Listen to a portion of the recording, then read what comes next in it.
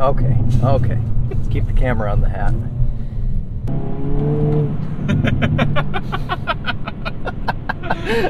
it's just such a grin machine. Like I, we've come back to that term, grinning. I mean, it's so hard to drive this car and not Not smile. yeah, not smile. Hello, everybody, and welcome to the 2022 Daily Motor Best Car of the Year, the Hyundai Kona N. I'm Charlie. We got Chris behind the camera, and we're gonna go out for a little drive and talk about what made this car our best car out of everything we drove in the year of 2022. Yes, I'm looking forward to sitting in it because it's horribly cold. Yes, Chris is freezing because his Not a jacket enthusiast. Lisa did not teach him to wear a jacket. No, she did. She did teach me, but I've just decided not to. You know what's funny? I actually brought a jacket today. I just forgot to put it on. forgot that it's below freezing because we were just out in Southern California and then this happened. And it's Yeah. now white, but it's fitting because we have the little white Stormtrooper here. That's right. The exact same car we drove earlier this year, and we are very happy for it. Starting it up here. For those of you who are not aware of what the Kona N is, it is the third N product out of Hyundai's lineup. Started with the Veloster N a few years ago, then they released actually this and the Elantra N right about the same time. And this car comes in with very little optimization or, or um, customization, I should say. You get one transmission option, the 8 speed wet dual clutch automatic, meaning that it is very snappy but also very reliable. It's not a dry clutch, which right. uh, Ford tried to do and then ruined a whole fleet's worth of Fiestas. Yes, and Focuses. mhm. and under the hood, a two-liter turbocharged four-cylinder engine with 276 horsepower and 289 pound-feet of torque. Power is all sent to the front wheels via Yeah. the uh, dual clutch that Charlie just talked about. Mm-hmm. And you get th- currently three color configurations. That's right. Now, there used to be four. There used to be a light blue color, but now it's just white, black, or red. Yes, three choices. A lot of cars in this segment, they don't really give you a lot of choice for specs, so kind of consistent with all of the other vehicles that this car competes with. But I am satisfied with Oh, what you do up. get with this car because, as Chris just mentioned, heated seats warming his behind. You get single zone automatic climate control, no dual, but single zone there. You get a manual handbrake, nice little stitching there. We'll see if we can use that some today. And overall, a good amount of features for a grand total of $36,000, give or take, uh, wherever you are in the region and when you're watching this video. And I'm okay with there not being a whole bunch of customization for this car because it's pretty darn cool. And it's just a car that makes the mundane task sometimes of driving better. And then it makes fun driving that much better. Yes. Let's get it into gear here and get out on the road. I am not going to spend too much time in this basic drive mode that we're in, but you do have a few. Is it because you don't want to look at the white face gauges? That is part of the hmm. reason. Yes, that is one of our few. That's okay because with this car. since this car came out, uh, the Hyundai engineers listened to Charlie and I, Yep. and they made they switched the gauges. Mhm. Yeah. Yeah, so now that doesn't blind you quite as much. But it kind of fits for today because it's white outside. We have a white car, and some white gauges kind of work.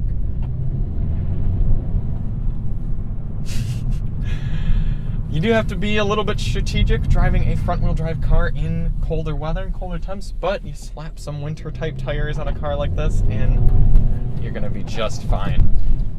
Also, being front wheel drive only instead of all wheel drive, like something like the new GR Corolla, you don't lose as much power to drivetrain loss. You can actually have more of that power working to propel you forward.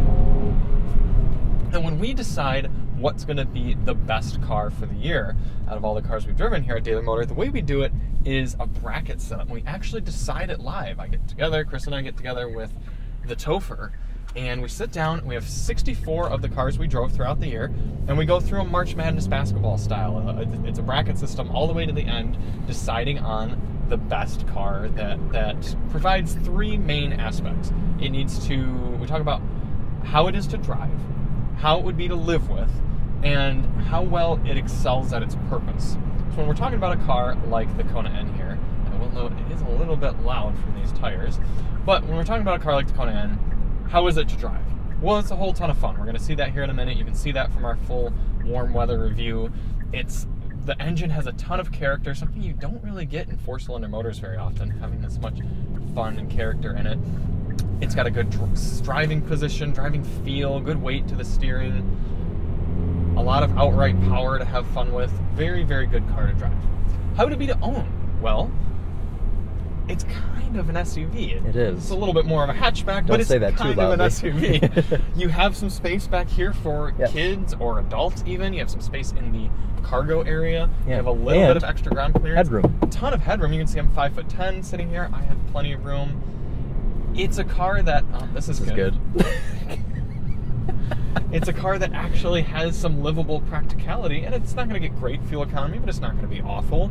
And it's got everything technology-wise you're going to want. We said those heated seats, easy physical controls for climate and volume, and it's got CarPlay and Android Auto. A lot of good features that you're going to want at this price point. And then, how well does it excel at its purpose? Very well. It's supposed to be a, a sporty daily driver type car, and it's so good at that because you can see we were driving it chill back there, and it's just kind of going along. But then I press this N button here, actually that N button There there, and it gets loud and it gets fast. Look at that torque steer. that was not me trying to steer it at all. Yeah. That was it yanking me back and forth, and immediately I'm met with a grin. A grin shift. Yes.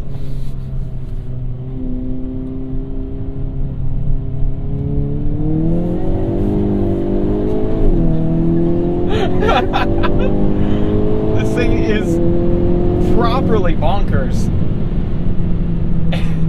and it's just, you don't expect it from a No, package like this. No. Oh, did you say it? Oh, it's because I'm an N grin shift. It's in the most aggressive shift pattern. Ugh. it's so. It's also the ride is really something as well. It stiffens up quite a bit in N mode, and it bounces you all over like a Focus RS. It'll steer me through this corner just with the gas pedal. I don't even have to turn the wheel. Oh, the brakes are a bit wore out on this model. It's had a tough life. Something's. Moving around back there. It is. I get this great digital gauge cluster here that you'll see in a moment once Chris drives, but it's telling me all sorts of fun track information there oil temp, engine temp, torque, turbo pressure, my speed, my gear position, RPM. And then, unlike a car like the GR Corolla that doesn't give you any cool infotainment stuff, you've got your N mode screen here in the Hyundais, and look at all that. Yeah, That's cool. really cool. For someone who's going to go and actually take their car out on track, this is useful. A lap timer, how much you're pressing the brake pedal, so you can watch that afterward and see how you know how far you're having to go into it. And then look how well you can customize all your Things. Oh, look at this. Yeah, you can make it uh, sporty for some things like steering, but not sporty for other things like suspension and exhaust sound. You see your G-force readouts, launch control right there, which I can't imagine would be particularly useful today. No. Yeah, so a lot of really cool things, and you can tell that Hyundai really uh, thought through this car from a passionate standpoint. You can tell that they really thought, what are what are the type of people who are in this market going to want, and provided that. I mean, they really did. Yeah. Yeah, this was one of the few cars. Okay, Charlie.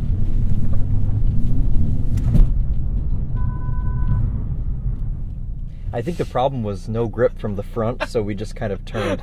what I was trying to say before my colleague decided he wanted to use the handbrake is that this is one of the few cars that we drove last year that I drove just to drive. Like I would go right. out and just drive this car Every night it you was just so went out much to fun. go for a drive. Yeah, go under tunnels, hear the pops and burbles, all those good sorts of things. Mm. Okay.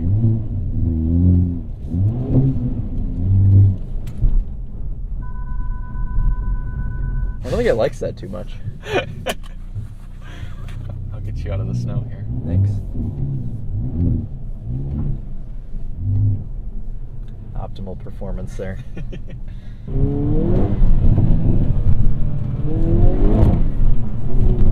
Okay, okay. Let's keep the camera on the hat.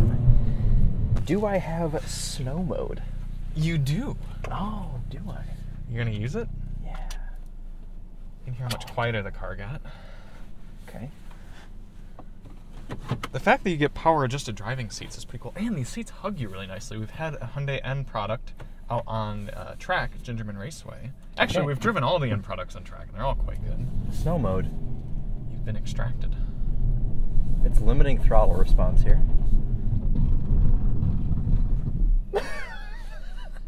okay.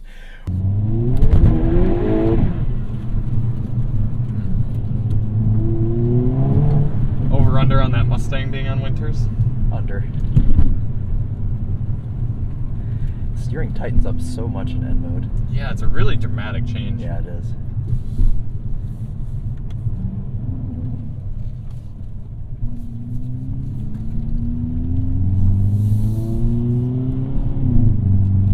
Some of the other competitors for car of the year Ford Bronco. The Ford Bronco, another car that does provide a lot of fun and a lot of a unique driving experience on the road in this sea of mundane crossovers that we drive on a regular basis. The Bronco provided a nice change from that, but we didn't love quite as much the other versions of the Bronco and uh, other outside of the particular ones that we did like, the 7 speed manual.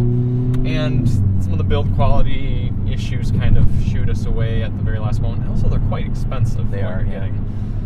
Other finalists Volvo V60 cross country. the Volvo V60 again. Which I might have picked if it were up to me. Yeah, you really do get a lot of car for that money. A lot of a lot of features and a lot of a nice experience, but not maybe not quite as uh, universal and not as outstanding of a driving experience as Right. this, and maybe misses its mission a little bit more.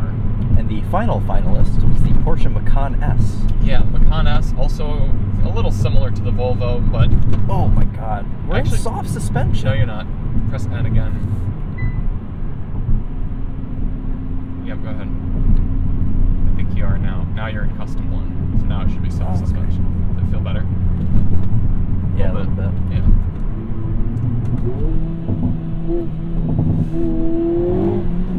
Oh my god. No grip. Yeah, let me get you traction control on. There you go.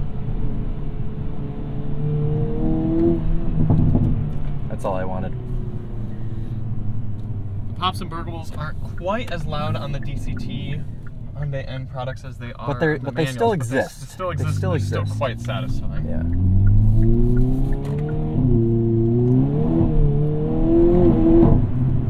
Okay. Give it some pull. Feel the yank.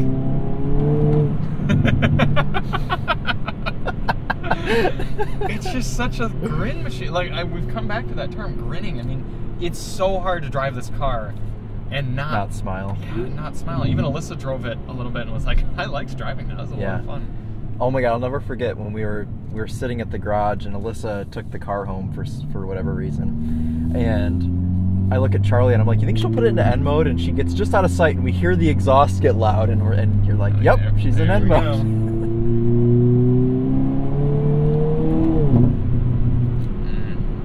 And this car seems to be holding up pretty well after 10,000 hard miles. Yeah. Still shifting great, pulling hard. Yeah. Interior's in really good shape. There's no piano blacks or anything to get scratched up. It is a bit drab of an interior. I would like if Hyundai would add a little bit That of blue. was our yeah. I was gonna say that was our biggest complaint with this car is that the dashboard and the Mhm. layout of things is a little bit boring. Yeah, a colored start stop button would go a long way. But they do have a few little blue accents, some cross stitching and some accents here. Got the buttons.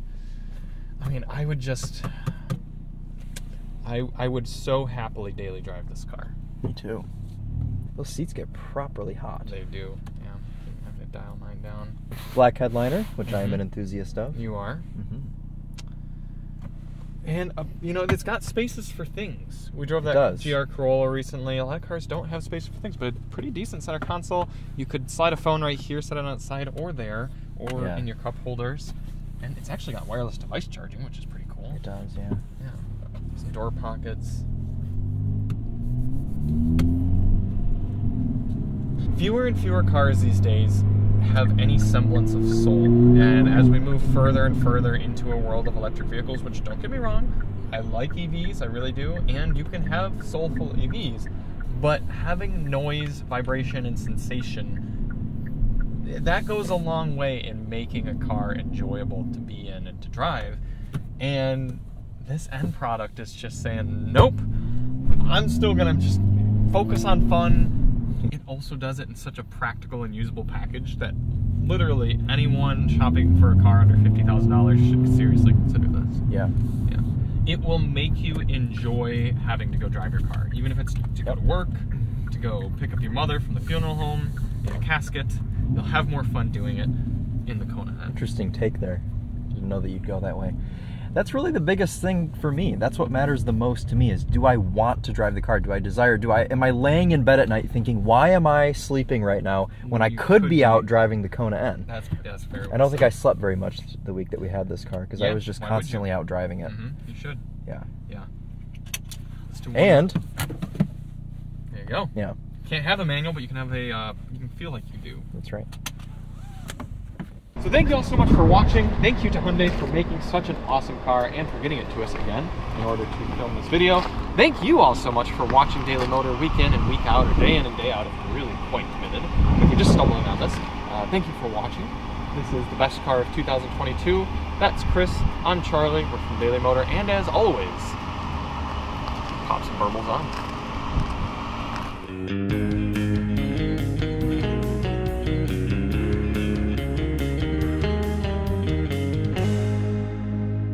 And as always, Chris is cold on.